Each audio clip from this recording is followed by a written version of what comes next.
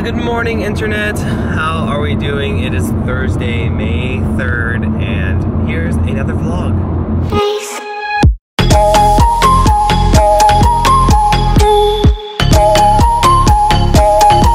I've been lost in the mood, it's just too soon. Plotting my way over to you, distant close. A few order of business, a few things, blah, blah, blah, few things today that I want to talk about. Yesterday during yoga class, I was doing a camel pose. You guys aren't familiar with camel pose, I'll put a little screenshot of what it looks like. This is one of the master postures of the series. It's just like the ultimate heart opening, blast all your chakras open and just make you feel so high because it's in such a vulnerable position and it just gets all the blood flowing. It's crazy. It's like one of the most intense postures of the Bikram series. I did it pretty hard yesterday, and by hard I mean like I kind of like strained myself, pushing really hard. And there was a loud pop in my shoulder and at the moment I was like, oh my god. The, in the moment of it, I was like actually quite paranoid because I was like, oh shit, did I like pop my shoulder out? And I kind of just like stayed calm and I went through the rest of the practice and I like fell asleep in Shavasana. It was wonderful. And then when I got up, I was like, oh, okay, my arm's okay now. Because I, I definitely didn't dislocate it, but this morning I'm really feeling like, I know, I just really feel like I, I did something that I wasn't supposed to. I'm kind of hurting right now and I need to be more gentle on myself. I still want to go practice today, but it's hurting right now. Do you guys have any tips on how to alleviate uh, a popped or just swollen shoulder socket? I'm not even sure what it is. It's just like I don't have my full range of motion. I'm currently heading to Fife, which is about 15 minutes away from Tacoma, to this place called IdentoGO, and it's to like do my fingerprints and stuff because my friend Zach told me that in order to get pre-check on TSA, like get through the lines faster, all you have to do is go to this office and then they'll give you like identification number after they take your fingerprints. And I'm trying to do that because I travel so much and it's it'd be just it'd be so nice just to skip all the lines. This is how the pre-check works. I'm just gonna share with you guys the process I go through to make it happen. Maybe all you travelers out there can get some value from it. Oh my gosh, the poodle dog. That's one of the first restaurants that me and Sammy went to Rudy when my mom first met him. So it's always really nostalgic to drive through Fife and the, the port of Tacoma here. Wow, it's like literally they have a spot just for me right in front, front and center.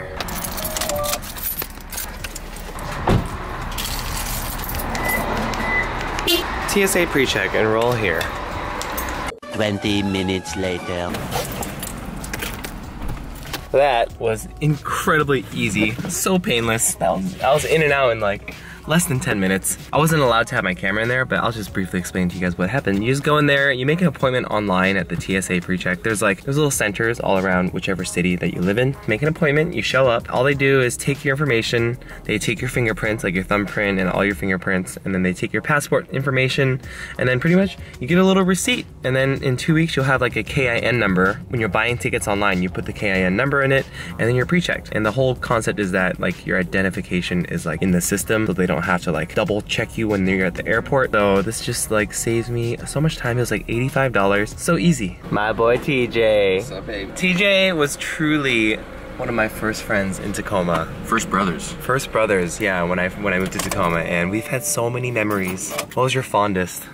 Uh, probably the swing in the um, back of your house, that rope swing. Oh, and yes. Then, and then we had the trail that uh, trail that went down to the beach. Either that or you guys performing for my birthday at my house. Damn, I forgot about that You, one. You, Jamie Helm, Richard Fitzer, and Jake Caldwell. Shout out. I'll do a little little screenshot of that. Uh, mine mine was uh, either the Halo parties at your place or when our parents let us drive to Disneyland when we were 17 years old. That was fun when we used to when we smoked weed and we would put the ash from our wood pipe back into back into the bag of, of, of weed so that we didn't waste anything. And TJ didn't know how to drive stick, so instead of like Still don't, of, by the way. in- Still don't. instead of uh, teaching him, we switched seats at 80 miles per hour cruise control. I don't know how we did that, man. Downtown Sacramento. That was um, best time of my life, honestly. That, that was- California trip was was really fun. the best. No shower for like a week. Yeah, we stunk. Sleeping in Denny's parking lot, that shit was crazy, man. So this is TJ's man cave, and last time I came over here, they're just working on this bar. Look at this masterpiece. It's a little dirty right now, but A labor uh, of love. yeah, it's yeah, it's a labor of love. Have you had some massive parties here? Oh yeah, we Yeah? do. A, so every every other Wednesday we do a podcast live from the Broken Hammer. Cool. Oh my gosh. Just reached 2,000 subscribers on my YouTube page. Like, I got like 150 new subscribers since I released this video yesterday. Thank you guys so much. I'm so appreciative. The YouTube journey is just beginning and I can't wait to see what happens next.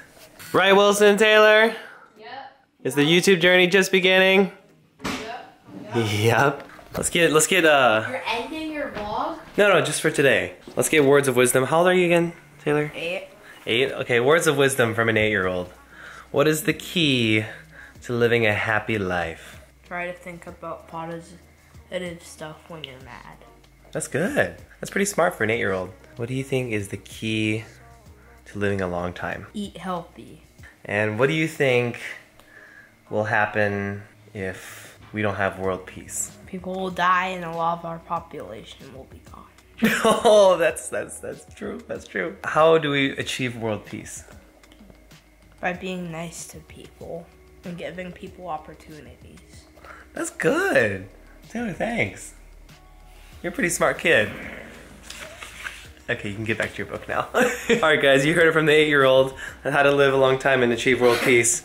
I'll see you guys tomorrow because we gotta wake up and film some more Meet the Neighbors videos.